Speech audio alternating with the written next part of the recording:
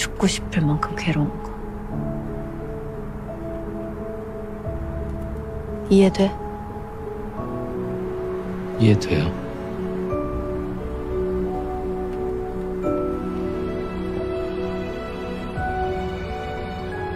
약속해? 나 변호해 주기로 한 거. 약속해요. 그래, 그럼. 阿宋